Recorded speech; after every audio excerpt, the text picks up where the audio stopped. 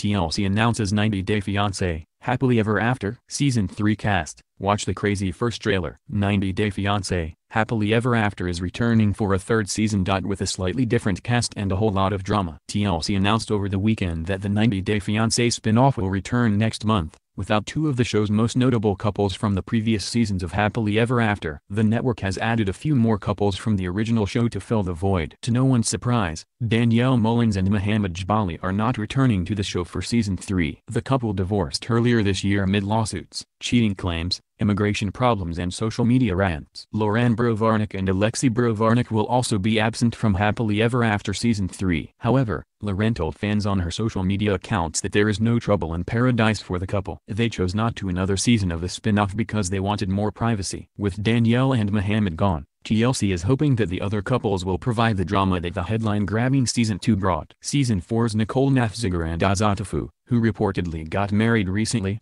will be part of the cast. Based on the first commercial for the new season, it appears that they'll bring plenty of turmoil to the show. In the clip, Nicole is shown confronting Azan about talking to other girls. Season 5's David Toborowsky and Annie Suwan will also join the Happily Ever After cast. David was in the news earlier this year when his teenage son, Jacob, suffered a gunshot wound to the face when he was accidentally shot by a friend. He has since recovered from the incident after many surgeries. In the clip, it appears that David's daughter is distressed over her father's relationship with Annie. Also seen on the first commercial for Happily Ever After Season 3 were Jorge and Anfisa Nava. From 90 Day Fiancé Season 4, Chantel Everett and Pedro Jimeno, also originally of Season 4, and Paola and Russ Mayfield of Season 1.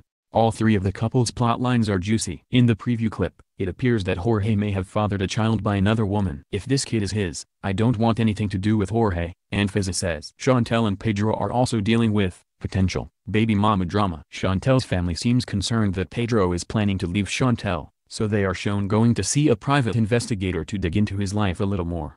Chantel is shocked when she is told that Pedro may have another family back in the Dominican Republic. Things get so heated during one scene that Chantel's brother and Pedro get into a physical fight. Jerry, Jerry. As for Paula and Russ, it seems that Russ is still having trouble accepting that his wife wants to be a sexy time model. Who may want to also date someone else. Go figure. It appears that Molly Hopkins will also appear on the new Happily Ever After season, and she may be flying solo this time around. As the Ashley previously reported, Molly filed for divorce from her husband Luis Mendez earlier this year. Luis then went on a epic social media rant, accusing TLC of racism, stating that the show ruined his life, and threatening to sue the network. Luis does make an appearance on the preview for the season, but it is not known if he will have a recurring role on the series. The person I thought he was is not the person that he is today.